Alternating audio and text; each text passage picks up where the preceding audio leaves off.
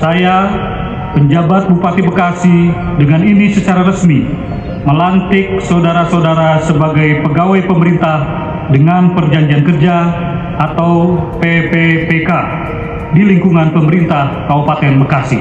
Senin 4 Maret 2024 bertempat di Plaza Pemda Kabupaten Bekasi. Penjabat Bupati Bekasi, Dr. Haji Dani Ramdan MT, secara resmi melantik dan mengambil sumpah jabatan sebanyak 1.714 pegawai pemerintah dengan perjanjian kerja atau P3K di lingkungan pemerintah Kabupaten Bekasi yang terdiri dari jabatan fungsional teknis, guru, dan tenaga kesehatan. Jalan panjang terus membentang. Tahapan demi tahapan telah kami lewati.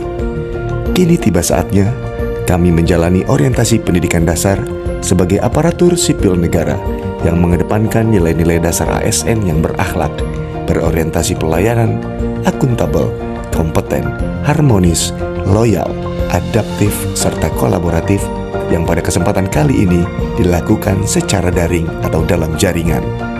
Suka duka mengikuti pembelajaran daring kami lalui. Dengan segala keterbatasan yang ada, tidak menghalangi tekad kuat dan niat tulus ikhlas kami dalam melayani serta mengabdi untuk negeri, khususnya di Kabupaten Bekasi yang makin berani. Di sela kesibukan mengikuti pembelajaran daring, kami berkesempatan bertatap muka secara langsung dengan rekan seperjuangan MOOC P3K Angkatan 24 yang bertempat di Museum Gedung Juang Kabupaten Bekasi. Hal ini kami lakukan demi menyatukan visi dan misi, mengikuti orientasi, serta mempererat tali silaturahmi, mengingat kami datang dari berbagai latar belakang dan unit kerja yang berbeda. Alasan kami memilih Museum Digital Gedung Juang sebagai lokasi pertemuan luar jaringan atau luring, selain sebagai salah satu ikon tempat wisata berbasis budaya yang ada di Kabupaten Bekasi. Museum Digital Gedung Juang syarat akan makna dan filosofi. Dari sini kami belajar banyak hal, dan yang paling penting adalah meningkatkan rasa cinta kami terhadap Kabupaten Bekasi.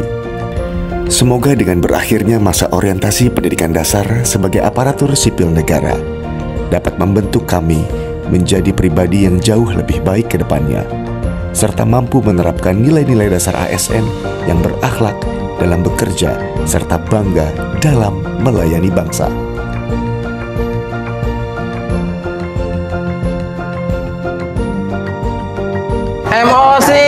PPPK Kabupaten Bekasi Angkatan 24 Istri